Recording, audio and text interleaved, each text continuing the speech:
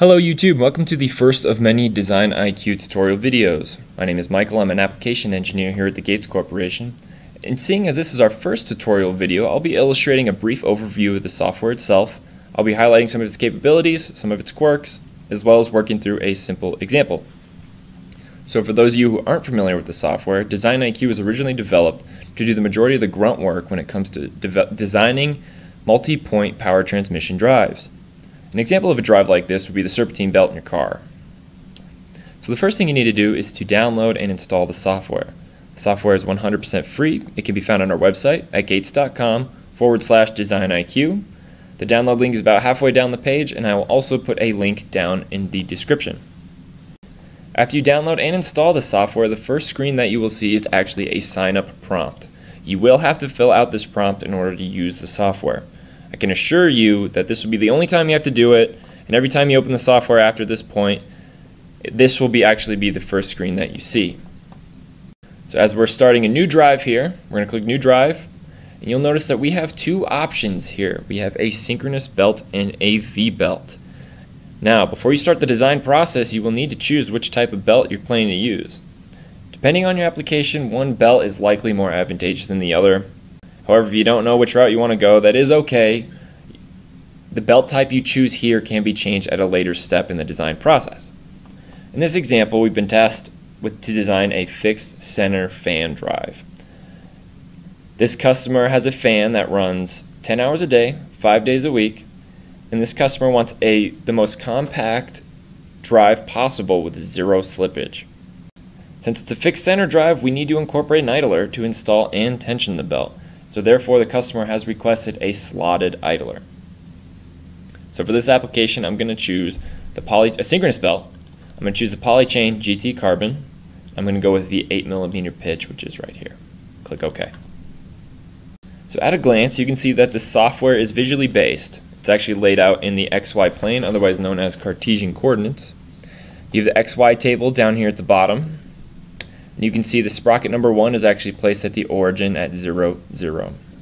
We are currently in inches. If you'd like to change it to metric, it can be easily done by going up to tools here, units of measure, and then this drop down here right at the top says US customary. You can switch it to metric right there. But for now, for this example, I want to keep it in English units, so I'm just going to click cancel. Before we dive into design, I just want to highlight some of the functionality on this page. On the left-hand side, we have a number of buttons and what's great about these buttons is actually if you just highlight over them, it gives you a brief description of what they do. So this very first one, the plus sign, adds a pulley, does exactly that. You can drag and drop it wherever you'd like. Notice when I drop it, it automatically updates the XY coordinates. This next button here is actually flip pulley. This helps with belt routing. I'll show you an example of that here in a minute. And this last one here is delete pulley. It looks like a minus symbol and it does exactly that. add a pulley back just for the example. These next three have to do with your view. So This first one, zoom in, click it, you zoom right in, and then zoom out. And then this is my personal favorite here, it's zoom to fit. Just fits the belt drive to your screen. You can also use the scroll wheel on your mouse to zoom in and out as well. These next two are undo and redo. They'll become your best friend, especially if your drive gets a little complex. This one here is the pan button. So this button when you click it, it stays selected. It allows you to grab your drive and drag it wherever you like.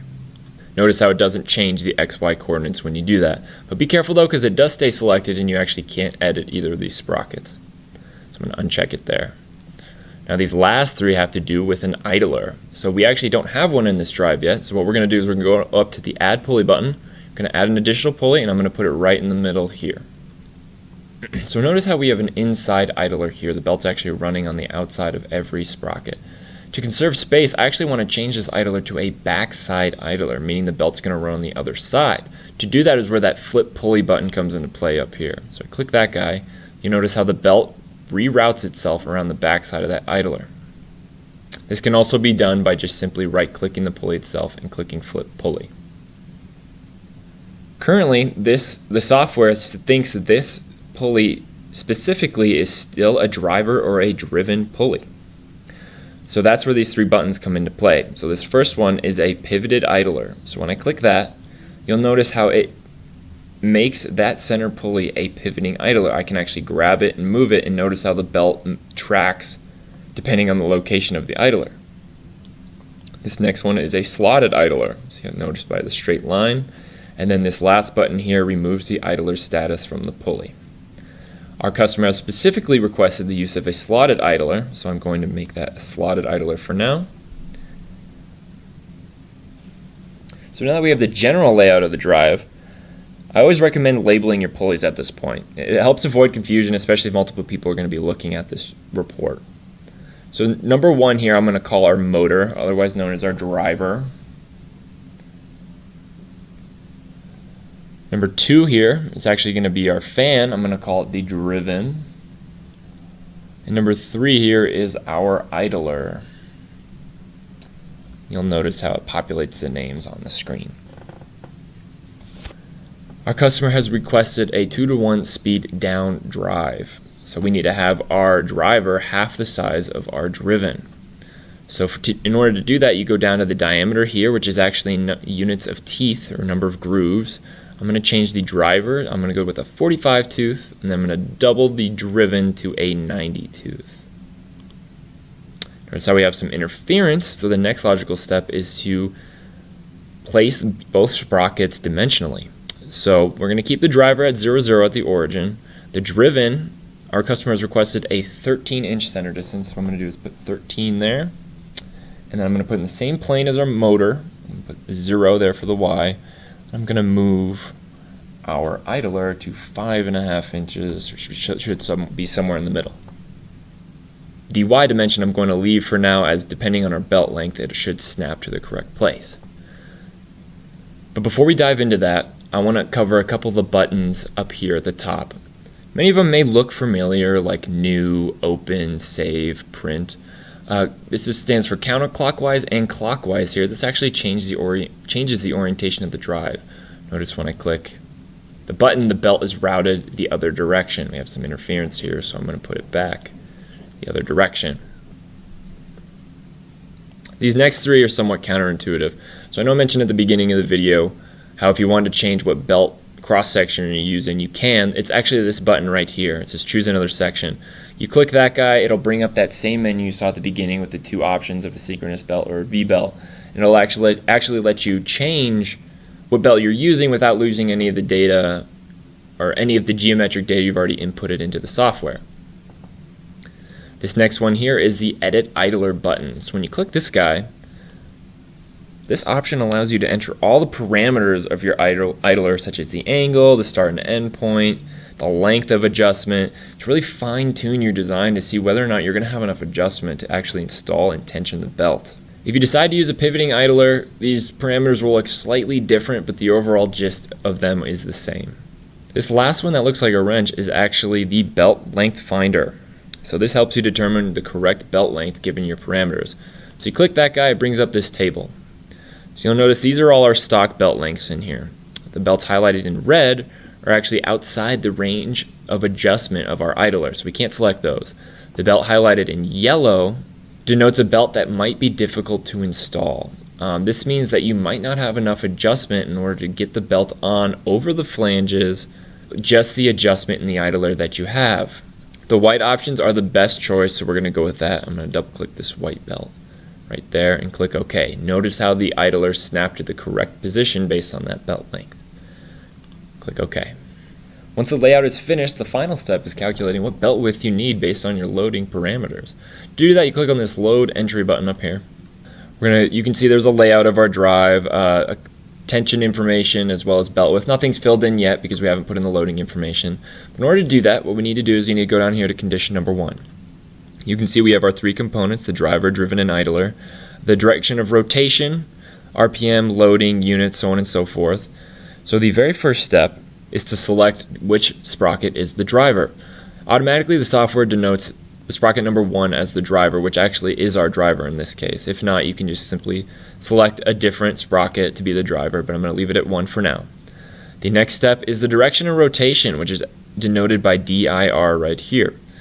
So we always want the idler to be on the slack side of the belt during operation, which in this case it is. These can be easily changed by just selecting this drop down menu here and changing it to counter counterclockwise. Next is the RPM. We know our motor's rated RPM is 1750, so we're going to plug that in here. And you'll notice how it automatically calculates the RPMs for the, the driven and the idler based on the geometry. Next is the loading information.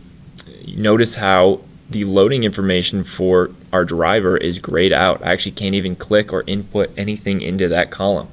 Reason being is Design IQ works on load draw. So for example, in theory, all of our power from the driver should be being be consumed by our driven sprocket or the fan in this case.